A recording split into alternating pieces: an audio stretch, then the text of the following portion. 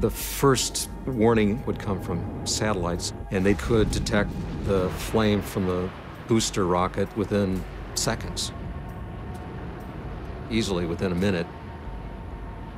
Suddenly, this early warning hub in the United States would become very frenzied to try to figure out whether this is a false alarm or whether this is a real attack and determine this within 60 seconds.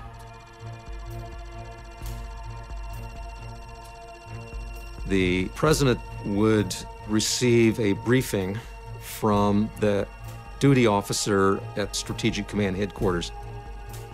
That briefing of the president of his response options and their consequences has to be delivered in as little as 30 seconds. The president normally would have no more than 12 minutes to make a decision and maybe as little as 10 seconds. I knew that if the Soviets did launch an attack, that it would take 26 minutes for an ICBM to leave Russian soil and land in Washington or New York. And I had that much time to decide how to respond.